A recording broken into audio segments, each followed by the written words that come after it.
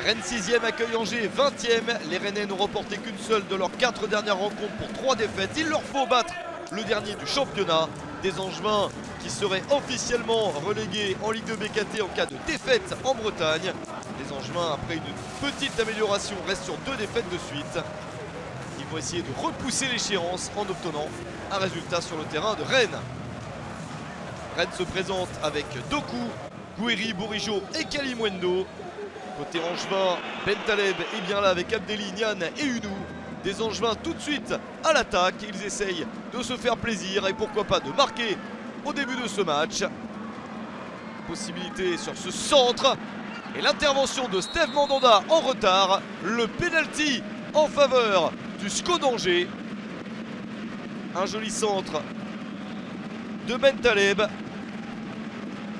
Pas de hors-jeu au final et l'intervention de Mandanda provoque une faute. La faute sur Unou et le penalty pour le SCO. On a bien une chance de marquer en premier pour les visiteurs. Une chance d'Oerit Nabil Bentaleb.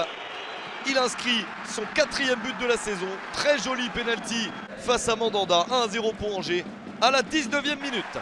C'est une petite surprise pour les Rennais, mais ils repartent vite de l'avant.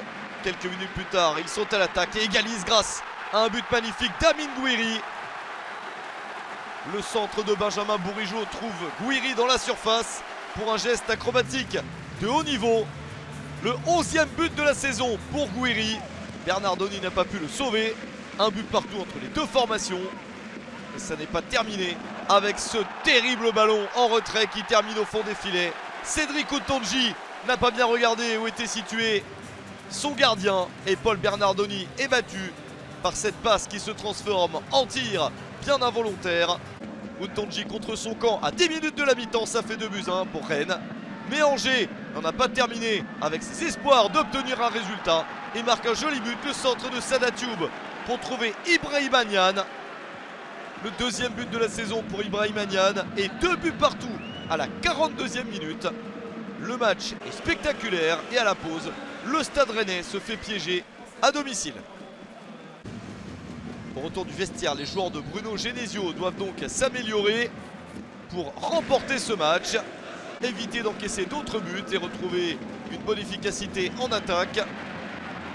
Ils n'ont pas eu ce bon équilibre en première période, mais retour du vestiaire, ils font tout pour marquer le but du 3-2. Ils y parviennent après moins de 10 minutes dans cette seconde période, à la 54e minute exactement. Amin Gouiri est cette fois-ci passeur pour Jérémy Doku et son quatrième but de la saison. 3 buts à 2 pour Rennes. Alexandre Dujeu est déçu que son équipe n'ait pas tenu un petit peu plus longtemps ce 2 partout.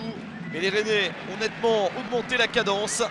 Encore un bon ballon dans la surface pour Jérémy Doku. Il va au bout de l'action pour s'offrir un doublé à la 84e minute. C'est la minute qu'il a fallu attendre pour voir le public rennais se libérer. Le doublé pour Doku à quelques minutes de la fin pour marquer son cinquième but de la saison. Rennes s'impose 4 buts à 2 contre Angers. Et Angers est officiellement relégué en Ligue 2 BKT.